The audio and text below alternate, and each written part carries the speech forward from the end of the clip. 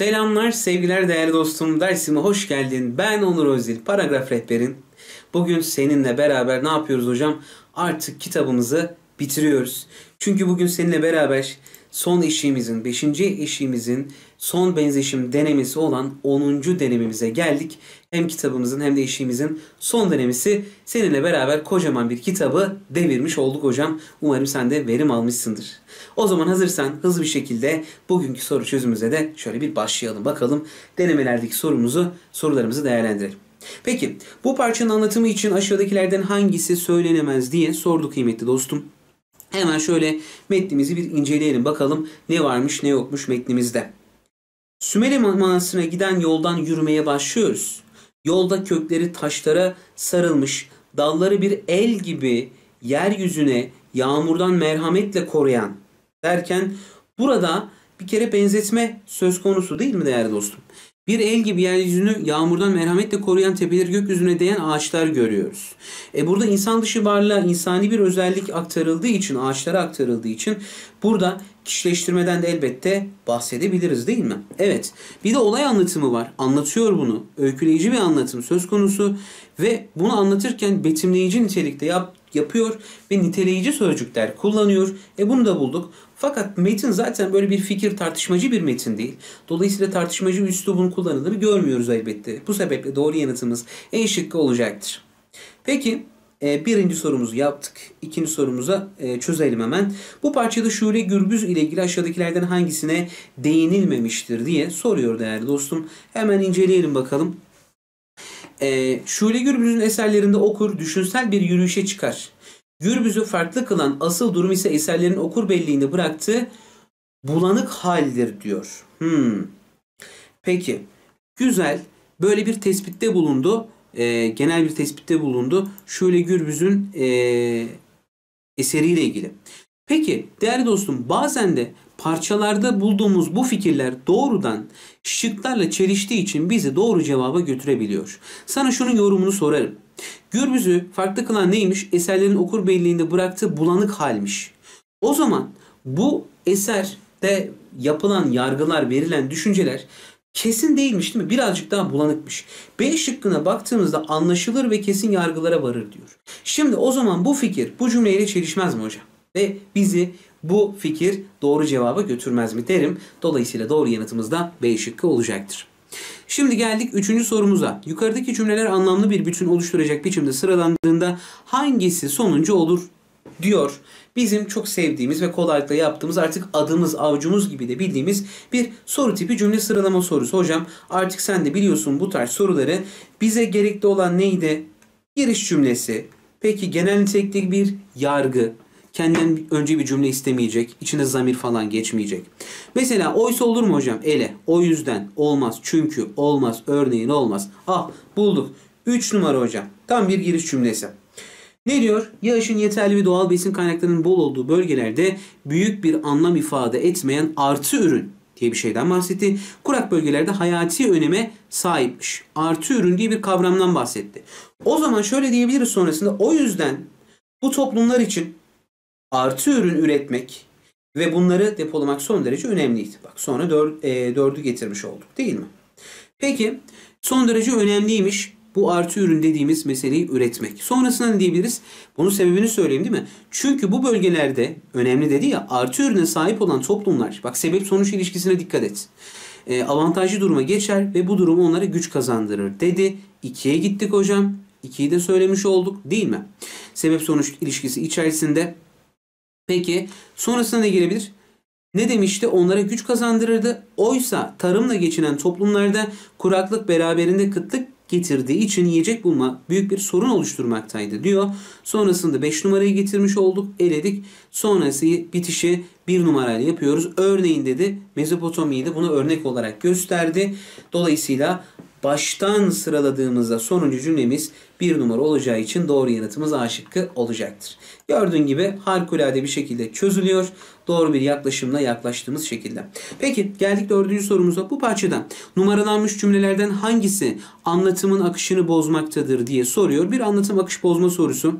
Hemen konuyu tespit edip konu dışına çıkanı bulalım. İnsanın geçmişini öğrenmesinde, günlü yaşamasında, geleceğini yön vermesinde, kişiliğini kazanmasında ve kendisini ifade etmesinde dil çok önemli bir araçtır demiş. Peki dile bu kadar bir vurgu yapıyor. Bu bakımdan diyor dil Yine aynı konu üzerinden devam ediyor. Bireye hizmet eder ancak insan tabiatı gereği toplu halde yaşamaya ihtiyaç duyar demiş. Yine dil üzerinde değil mi? Toplu halde yaşamak bazı kişiler için kolay değildir. Hocam şimdi e, bizim meselemiz toplu yaşamak falan değil. Bizim burada meselemiz nedir? Dildir öyle değil mi? Biz dilden bahsediyoruz. Dilin öneminden bahsediyoruz. Gerektiğinden bahsediyoruz. Ama burada toplu yaşamla ilgili bir takım şeylere girdiği için dolayısıyla doğru yanıtımız C şıkkı olacaktır. Peki geldik 5. sorumuza. Bu parçada aşağıdakilerin hangisinden bahsedilmektedir diye sordu. 5. sorumuzda değerli dostum. Hemen şöyle bir inceleme sağlayalım. Bakalım neden bahsediyormuş 5. sorumuzda, 5. sorumuzun metninde. Peki, ee, belirli bir okuma alışkanlığı olmayan yazarlardan biri Refik Halit Kara ise diğeri de Cahit Zarifoğlu'dur demiş. Hmm. Şimdi niye okuma alışkanlığı yokmuş bunu irdeleyecek. Muhtemelen Okumazlık özelliklerini her iki yazar da göğüslerini gere gere itiraf etmekten çekinmez. Gene de farklıdır ikisinin okumama nedenleri. Refik Halit Karay imkan bulamadığından sözesi bile inandırıcı olmaz. Yani bu metin değerli dostum bu iki yazarın kitap okumama gerekçelerinden bahsediyor. Net zaten. Dolayısıyla doğru yanıtımız A şıkkı olacaktır. Peki geldik şimdi 6. sorumuza. Bu parçanın bütününde televizyonla ilgili olarak aşağıdakilerden hangisinden söz edilmektedir diye sormuş. Bakalım. Televizyon bir cazibe merkezi olarak hayatımızın baş köşesine kuruldu diyor. Vurgulu bir giriş cümlesi yaptı hocam. Demek ki e, televizyon dediğimiz şey insanı büyük olasılıkta etkiliyor. 24 saat yayın yapan kanallarla tam bir görüntü sarhoşluğu yaşıyoruz. Alışkanlıklarımız, konuşma biçimimiz, ilişkilerimiz televizyona endekslendi sanki. Kameralar pervasızca mahremiyetimizin en ücra köşelerine giriyorlar dedi. Değerli dostum çok açıktır.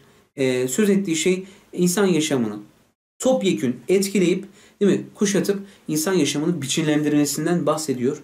E bu da A şıkkında var. Dolayısıyla doğru yanıtımız olacaktır. Peki geldik 7. sorumuza. Bu parçada aşağıdakilerden hangisine ulaşılabilir diye sordu 7. sorumuzda. Bakalım. Geçenlerde posta ile bir kitap geldi. Küçük bir kitap ama başından sonuna kadar okuyamadım. Sadece kitaba bir göz gezdirdim diyor. Adını da kimin yazdığını söyleyemeyeceğim. Beğenmedim ki söyleyeyim. Bir adamı yazı yazmaya daha yeni başlamış bir genci kitabından hoşlanmadım diyerek açık etmenin ne lüzumu var demiş. Boş yere kırmış olurum. Bekleyelim günün birinde belki daha güzel yazılarını okuruz. O zaman uzun uzun sözünü ederiz. O zaman bu yazar bu anlamda hoşgörülü bir yazar ve yeni yazarlara da imkan tanımayı seviyor ve hemen aceleyce onu yargılayıp eleştirmiyor ona zaman veriyor değil mi? Nerede var hocam? Bak yeni yazarlara nitelikli eser vermeleri için zaman tanınmalı, onların cesaretleri kırılmamalıdır diyor. E şıkkı doğru yanıtımız olacaktır. Evet değerli dostum şimdi 8. sorumuzdan devam ediyoruz. Ne diyor? E, bu parçanın sonunda düşüncenin akışına göre aşağıdakilerden hangisi getirilebilir diye sordu bize. Hemen şöyle incelediğimizde metnimizi. Bak doğuştan bir yazar olduğu için yazı yazmaktadır o. Üstelik yani doğuştan yazar yetenekli olması demek değil mi? Üstelik ilk yazı yazmanın bilimsel yönleri hakkında hiçbir bilgiye sahip de değildir. Kısaca alaylı bir yazardır üstad. Yani yazmayı okuyarak öğrenmemiştir. Yani yeteneği vardır diyor. O yüzden neyi söyleyecek? İyi bir yazar olmanın şartını söyleyecek. Nerede var hocam? Bak nitelikli bir yazar olmanın ilk şartı çok okumak değildir diyor. Bir önceki cümlede bunu söyledi zaten. Bu anlamda bağlamı tamamlamış olduk. Peki geldik şimdi 9. sorumuza değerli dostum. Bu parçada Bakon ile ilgili aşağıdakilerden hangisine değinilmemiştir diye sordu 9. sorumuzda. Montaigne'den sonra deneme türünün eser veren en ünlü edebiyatçılarından biri İngiliz yazar Bacon'dur demiş. Deneme türünün gelişmesine katkı bulunduğu, e, katkıda bulunduğunu kesinlikle söyleyebiliriz. Hatta önde gelen temsilcilerinden biri olduğu söyleniyor. Bacon Denemeler adlı eseriyle deneme türüne biçim, anlatım içerik bakımından başka bir nitelik kazandırmıştır diyor. O zaman denemelerin insanlar için ufuk açıcı, olduğunda söylemek mümkün değil mi? Onu derli toplu, özlü ve sağduyulu yansıtan düşünce ve görüşlerini içeren denemeleri uzun süre hayatta başarı ve mutluluğun yollarını arayan kimseler için yol gösterici rol oynamıştır diyor. Demek ki farklı konularda görüşlerini denemelerinde yansıtmış insanlara bu anlamda ilham olmuş değil mi? onların ufkunu aydınlatmaya çalışmış kendisi. Ama biz burada deneme türünde yazdıklarının hala anlaşılmadığına dair bir bilgi, öyle bir cümle ifade kesinlikle görmüyoruz. Dolayısıyla doğru yanıtımız E şıkkı olacaktır. Peki 10. sorumuza geldiğimizde bu parçada sözü edilen eserle ve yazarla ilgili olarak aşağıdakilerden hangisine değinilmemiştir diye sordu değerli dostum. Şöyle bir inceleyelim bakalım neye değinmiş neye değinmemiş. Modern Türk Edebiyatı'nın dil ve kurgu ustalarından sanatçı Kuşlar Yasına Gider romanında baba oğlu ilişkisini hem yerel hem de evrensel çizgide bir kavramsal derinlikte anlatır diyor. Yazarın dili o zaman ustaca değil mi? Dil ve kurgu ustaları dediğine göre. Peki e, bu anlamda hem yerel hem evrensel çizgide diyor. O zaman e, yazarın konuyu tüm insanlığa hitap edecek derinlikte ele aldığı da söylenebilir değil mi? Bu anlamda evrensellik vurgusu yapılmışsa bunu da pekala söyleyebiliriz. Peki e, Kuşlar Yasına Giden romanı yalnızlığı, yaşlılığı, ölümü, baba oğlu ilişkisini dil büyücüsü bir yazarın usta kalemiyle yansıtır diyor. E, o zaman anlatılanların e, bu anlamda ele aldığı konu farklı bakış açılarıyla değerlendirdiğini söyleyebiliriz değil mi? Edebiyat dünyasında baba oğul çatışmasını işleyen çok sayıda eserden farklı olarak babasıyla hesaplaşmak yerine onu anlamaya çalışan diyor. Ha, demek ki e, bu anlamda benzer konudaki eserlere benzemediği var. Değil mi? Ele aldığı konuya değil mi? Farklı bakış açısı getirdiğini görüyoruz. Çünkü diğer eserlerde baba oğul çatışma yaşarken burada babasını anlamaya çalışıyor diyor. Fakat anlatılanları belli gerekçelere dayandırarak incelediğine dair bir şey söylemiyorum. Elbette doğru yanıtımız D olacaktır bu anlamda 10. sorumuzda. Peki bunu da yapmış olduk. Geldik şimdi 11. sorumuza. Bu parçadan aşağıdaki yargıların hangisine ulaşılabilir diye sormuş. Hemen inceleyelim. Bir edebi eser hangi milletin dilinde meydana gelmişse o milletin edebiyatı çerçevesi içine girer. Hmm. Yani bir dilde yazılmış olan ve yüksek bir değer taşıyan her eser konusu ne olursa olsun millidir diyor. Yani o millete özgüdür diyor. Bir millet vurgusu var. E, demek ki edebi değerde bir anlamda e, o millet için kıstası konulmuş. Hocam burada bak net bir şekilde var. Sonrasında örneklerinde veriyor zaten. Edebi değeri bulunan bir eser hangi milletin dilinde yazılmışsa o millet için millidir demiş değil mi? E, burada da zaten bunu anlatıyor. Hatta ne demiş burada? Halbuki Sinan'ın abideleri, Levni'nin nakışları, dedenin besteleri ne kadar milli ise Orhun abidelerinden günümüze kadar bütün edebiyatımız her güzel eseri de o kadar millidir demiş. Dolayısıyla doğru yanıtımız D şıkkı olacaktır. Peki hocam geldik şimdi 11'i de çözdük. 12. sorumuzdan devam ediyoruz. Bu parçadan yola çıkarak Bedir Rahmi Eyüboğlu ile ilgili olarak aşağıdakilerden hangisi söylenemez diye sormuş. Hemen bakalım. Ee, bir ressam olarak daha ziyade sanat dünyasında adı sık sık anılan Bedir Rahmi Eyüboğlu e, edebiyat ve özellikle şiir konusunda e, konusu olduğunda Karadut şairi diye bilinir diyor. Demek ki farklı sanat alanlarında eserler vermiş değil mi? Kendisi bir kere zaten e, bu anlamda ressam olarak tanınıyor. Ama özellikle şiir konusunda ala, e, eser vermiştir demiş. Peki bunu görmüş olduk. Burada ise e, Kara Dut şairi diye bilindiğine göre bir şiirin adıyla anılmakta kendisi. E, Dol Karabakır Dol başlığını taşıyan ve şiirlerin toplandığı kitap onun gerçekten iyi bir şair olduğunun da kanıtıdır diyor değerli dostum. E, tablolarında, yazmalarında, desenlerinde ve yemirilerinde siyah beyaz veya çok renkli dünyadan örnekler veren ressamımızın yazılarında da insanımızın çok iyi tanıdığı halkımızın maddi ve manevi kültür üzerine nasıl değerler verdiğini görüyoruz. Demek ki o zaman içinde bulunduğu kültürü yakından tanımakta onları yansıtıyormuş çünkü. O yüzden gelenek ve göreneklerini önemsemekte olan bir kişi olduğunu da gördük. Fakat şiirlerinde halkın acılarını dillendirmiştir. Ee, yani sadece acılarını dillendirmiştir gibi e, bir şey söz konusu değil. Dolayısıyla doğru yanıtımız elbette bu anlamda e, D olacaktır. Peki geldik hocam 13. sorumuza. Bu parça anlatılma, bu parçada anlatılmak istenen ilgili en kapsamlı yargı numaralanmış cümlelerin hangisinde verilmiştir diyor. Yani bir ana fikir cümlesi olacak değil mi değerli dostum? Bize aslında e, hangi cümlede ana fikir bulunuru soruyor bir bakıma. Peki şöyle bir bakalım acaba hangisinde ana fikir bulabileceğiz? Her okurun okuduğu kurmaca metinle arasında kurduğu bir ilişki başkadır.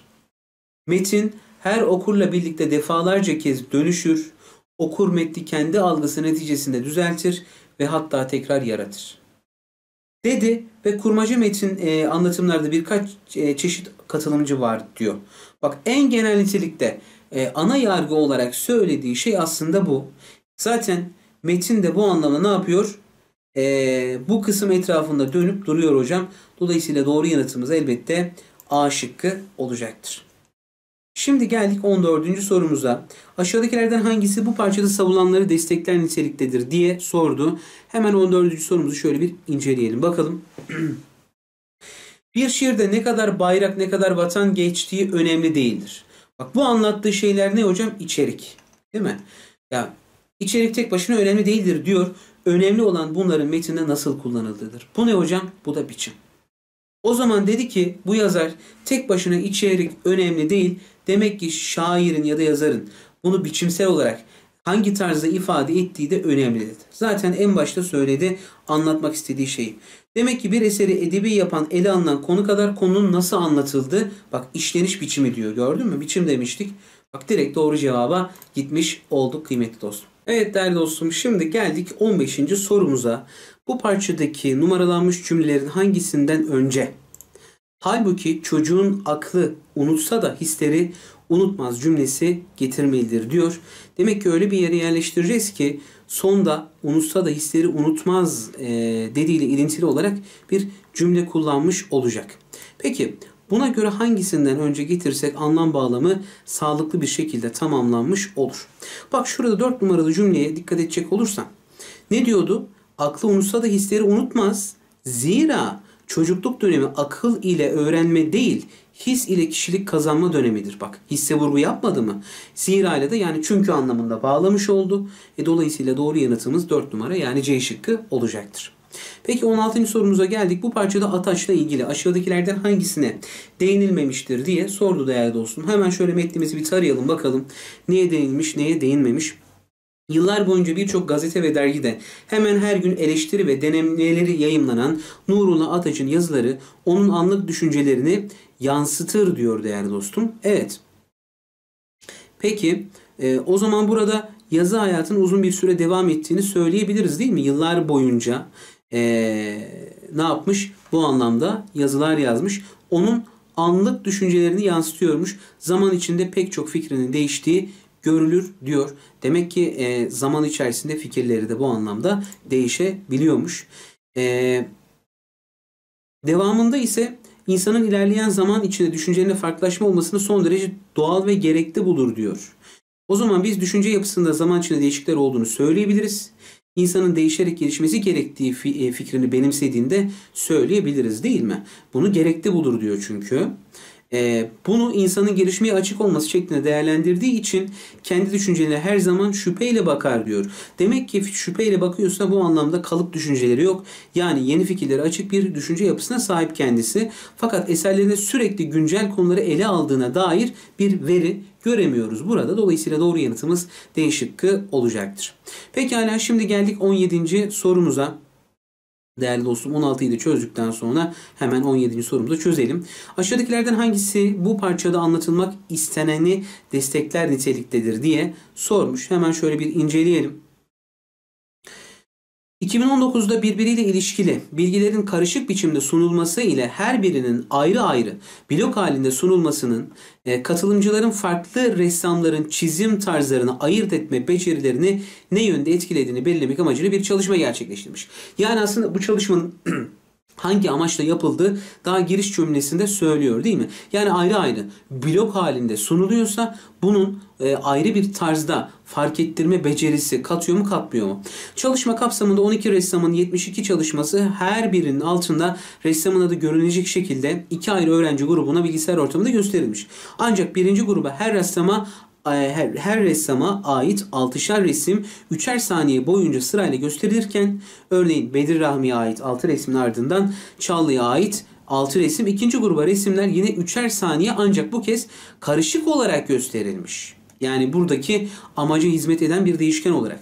Ardından katılımcılara küçük bir sınav uygulanmış. Sınavda yine aynı ressamlara ait ancak bu kez farklı resimler yani altlarında ressam adı olmadan gösterilmiş ve resimlerin kime ait olduğunu öğrencilerin tahmin etmeleri istenmiş. İkinci grup tahminlerde bu anlamda daha başarılı olmuş diyor. O zaman tabii ki biz bu metinle ilgili araştırma konusu olarak zaten daha giriş cümlesinde hangi amaçla araştırdığını söylemişti değil mi bu anlamda? Ee, diyebiliriz ki demek ki beynimiz birbiriyle ilişkili bilgiler bir arada verildiğinde tek bir bilginin derinlemesine verildiği duruma göre daha etkin e, hale geliyormuş. Çünkü ikincisinde daha başarılı bir durum elde edilmiş. E, bu nedenle tabii ki doğru yanıtımız D şıkkı olacaktır 17. sorumuzda. Peki şimdi geldik 18'e. Bu paragrafta deneme ile ilgili olarak asıl anlatmak istenen aşağıdakilerden hangisidir diye e, sormuş. Bakalım Nermi, e, Nermi Uygur'un denemeye ve denemeyiciye bakış açısı diyor. Ben odaklılığın, ben odaklılığın başka bir deyişle öznelliğin üzerine temellenmiştir. Şimdi buraya bir vurgu koyduk. Ben merkezdeyim ve öznellik söz konusu. Neye ele alırsa aslında neyi anlatırsa anlatsın kendi benliğinden bir şeyler katacaktır denemeci. Bunu yapmıyorsa dışsal nesnel gerçekleri kendi duyguların iplikleriyle yeniden dokumuyor, işlemiyorsa denemeci sayılmaz. Hocam kıstası bulduk. Demek ki kıstasımızda ne varmış? Kişinin yaşamsal gerçeklikleri kendi yoğurarak, kendi öznel gerçekliğiyle ifade etmesi. Yani kendi kişisel görüşlerini, kendi duygularını katıyor olması. E nerede var hocam? Bak deneme gerçeklerin yazarın kişisel görüşleri ve duygularıyla yoğurma sonucu ortaya çıkan bir türdür diyor. Dolayısıyla doğru yanıtımız D olacaktır. Peki geldik 19. sorumuza. Bu parçadan bu yargılardan hangilerine ulaşılabilir diye soruyor. Hemen şöyle bir parçamızı tarayalım, inceleyelim bakalım neye ulaşabileceğiz bu anlamda. Çevremizde olup biten birçok şeyi duyuyor, kokusunu alıyor, tadı, görüyor, tadıyor hissediyoruz. Tüm bunları duyu organlarımız sayesinde, e, sayesinde gerçekleştiriyoruz. Hayvanlar da yaşadıkları dünyayı tıpkı bizimki gibi duyu organları sayesinde algılıyor. Ancak Buraya da dikkat. Pek çoğu bizdekilerden daha farklı duyu organlarına ya da daha keskin duyulara sahip. Örneğin bazı yayın e, balıkları tüm vücutlarıyla tat alabiliyormuş. İnsanda böyle bir şey yok. Sadece dille alıyor. Bunu da derilerin yüzeyine yayılan tat alma tomurcukları sayesinde yapabilirler. Yıldız burunlu köstebek ise tüm hayvanlar arasında belki de en ilginç buruna sahip hayvan. Bu köstebekler bulundukları çevreyi gözleriyle değil dokunarak görüyorlarmış değil mi? Burunların çevresindeki uzantıları dokundukları yeri 3 boyutlu olarak algılayabiliyorlarmış. Topların altında tüneri kazarak bu anlamda ilerliyorlar değil mi? Karanlık zaten görmesi gözüyle görmesi kendisi için bir şey ifade etmez. O yüzden ne yapıyormuş? E, dokunma duyusuyla 3 boyutlu olarak algılayarak ne yapabiliyormuş? Görebiliyormuş bu anlamda. Peki ne diyebiliriz? Canlıların çevrelerini algılama yöntemleri ve araçları çeşitlilik kesinlikle gösterir. İnsanlarla pek çok örnek verdiği hayvanla bunu kıyaslamış oldu. Duyu organları en gelişmiş canlı insan olarak ön plana çıkmaktadır. Şimdi böyle demiyor. Çünkü baktığında vermiş olduğu hayvan örneklerinin duyu organları aslında insandan çok daha gelişmiş değil mi? Balığa bakıyorsun tüm vücuduyla tad alıyor. İşte köstebeğe bakıyorsun dokunarak görüyor. Üç boyutlu şekil oluşturuyor. Dolayısıyla buna ulaşamayız kesinlikle. Bazı canlılar sadece belli duyuları kullanabilmektedir. Ha evet burada köstebek örneğini görüyoruz mesela. Dokunma duyusuyla görebiliyormuş. E, dolayısıyla 1 ve 3'e ulaştığımız için doğru yanıtımız C şıkkı olacaktır sorumuzun cevabı olarak. Peki şimdi geldik 20. sorumuza. Bu parçada vurgulanmak istenen e, düşünce aşağıdakilerden hangisidir diye soruyor değerli dostum. Hemen şöyle bir inceleyelim. Bir milletin dili, kültürü, edebiyatı o milletin e, dış dünyadaki imajının da en belirgin göstergeleridir demiş. Evet, kökeni ne kadar eski bir geçmişten geliyor olursa olsun çağın ruhuna hitap etmeyen, bak buraya bir virgül koyalım, e, bir vurgu koyalım, yıldız atalım. Yani burada önemli olan şey şu. Evet, e, milletin dili, kültürü o milletin dış dünyadaki imajını belirliyor. Çok önemli ama bunun başarıya gidebilmesi için ne olması gerekiyormuş? Eee çağın ruhuna hitap etmesi gerekiyormuş. Onunla kurduğu ilişkiden başarılı çıkamayan ve ayakta kalmayı beceremeyen hiçbir dil, kültür ve edebiyatın gerçek anlamda doğasına hizmet etmiş olmaz diyor. Değil mi? Mesele bu zenginliğin kıymetini bilip çağın ruhuna ayak e, uygun şekilde sunulup sunulmayacağıdır diyor. Evet burada da yine bir ana fikir cümlesi olarak e, asıl vurgulamak istediği noktayı söyledi. O zaman biz ne diyebiliriz değerli dostum? e, cümleyle ilgili. Demek ki milletler dil, kültür ve edebiyat zenginliklerini çağın ruhuyla bütünleştirip insanlığa yeniden sunarak medeniyet dünyasında varlığını ancak bu şekilde sürdürülebiliyor ve kendilerini başarı addedebiliyorlarmış. Peki geldik şimdi 21 ve 22. sorularımıza. Bunlar aynı metne dayalı sorular kıymetli dostum. Bu parçaya göre Pomodoro tekniğinin ortaya çıkmasının nedeni aşağıdakilerden hangisidir diye sormuş. Hemen şöyle bir inceleyelim metnimize bakalım. Ee, asıl ortaya çıkaran neden, etken neymiş, ne olacakmış. Birçok kişi odaklanma ve zamanı verimli kullanma konusunda güçlük çekiyor. Büyük şehirlerde yaşayanların durumu daha da zor. Keza trafik, aşırı yoğunluk, stres e, de zamanı etkin kullanmayı engelliyor. Dolayısıyla bu noktada devreye farklı teknikler giriyor. Yani burada aslında nedir? Zamanı verimli kullanma değil mi değerli dostum? Zamanı birazcık daha verimli kullanma gibi bir durum e, ön plana çıkıyor. Gün ışığından daha fazla yararlanmak. Aa bak bunu da söyledi hocam değil mi? E, bu anlamda çok fazla e, farklı yöntem varmış. Pomodoro tekniği de bunlardan bir tanesi. 25 dakika çalışma, 5 dakika dinlenme temeline dayanan e, bu sistemin ana omurgasını odaklanma ve verim kelimeleri oluşturuyor. Hocam bize söyledi zaten okuduğumuz yere kadar anlamış olduk. O zaman ne diyeceğiz? Bireyin gün ışığından daha çok yararlanması ve zamanı verimli kullanma isteği tabii ki Pomodoro tekniğinin ortaya çıkmasında etkili olmuş. Peki 22'ye bakalım. Bu parçada söz edilen tekniğin amacı aşağıdakilerden hangisidir diyor. Aslında e, söylemiş de olduk e, amacını ne amaçla kullanıldığını değil mi? Zaman aralıklarıyla beraber çünkü e, burada bir zaman aralığı koyuyor değil mi? Belli periyotlarla çalışıyor. E, insanın zamanı birazcık daha verimli kullanmasını sağlamak. E, nerede var? E şıkkında var hocam. Bak hedef koyarak insanın zaman yönetimini kolaylaştırmak demiş. Dolayısıyla doğru yanıtımız E şıkkı olacaktı. Çok netti. Zaten bir tanesini anladığımızda diğer soruyu da kolaylıkla yapabiliyoruz. Peki şimdi 23'e geldik. E, bu parçanın başına anlamak işine göre aşağıdaki sorulardan hangisi getirmelidir diyor. Hemen şöyle metnimize bakalım ki soruyu net bir şekilde tahmin edelim. Ee, sorusuyla başlamıştı o günkü güncesine. Peki nasıl bir soruymuş acaba? Dün bir delikanlı sordu bana. Doğrusu ben de bilmiyorum. Bırakamam yazmayı dedim. Hmm, yazmak üzerine bir şey o zaman. Biliyorum ki pekala bırakabilirim. Bir takım kimseler varmış. İçlerinden bir şeyi zorlamış onları yazmaya. Hiçbir karşılık beklemeden sadece yazmak istemelerin buyruğu ile oturur yazarlarmış. Ben onlardan olmadığımı biliyorum. Bir yazımı yarına bırakabilsem sevinirim. Öyle sanıyorum ki çalışmadan geçinebilseydim hiç yazmazdım belki okumazdım bile. Ha burada bir okumak kavramı da ortaya çıkmış. Demek ki burada yani okumak ve yazmak zorunluluk mudur? Yani ihtiyaç mıdır gibi bir şey soruyor. Nerede var değerli dostum? Bak okumak ve yazmak sizce bir ihtiyaç mı söz konusu? Peki 24'e bakalım. Bu parçadaki sadece yazmak istediklerinin buyruğu ile oturup yazmak sözüyle anlatılmak istenen aşağıdakilerden hangisidir diyor. Yani sadece yazmak buyruğu ne demek hocam? Yani bunun için çok cidden içten bir tutku duymak. Buna bir arzu hissetmek değil mi? Sadece yazmak dediğine göre e nerede var? Yazma eylemin içsel bir arzu ile gerçekleştiği ben bunu yapmam diyor. Para kazansaydım yapmazdım diyor. Dolayısıyla e, bunu A olarak bulmuş olduk. Evet kıymetli dostum. E, hem bu denememizin sonuna gelmiş olduk. Hem de kitabımızı tamamlamış olduk. Bence keyifli bir yolculuktu, verimli bir yolculuktu diye umut ediyorum. Umarım sen de bu soru çözümlerimizden çok verim almışsındır. Umarım sana aydınlatıcı bilgiler sunabilmişimdir kitap kapsamında. Ee, sana hayatında ve sınavlarında başarılar diliyorum. İyi çalışmalar, kolaylıklar. Kendine çok iyi bak. Hoşçakal.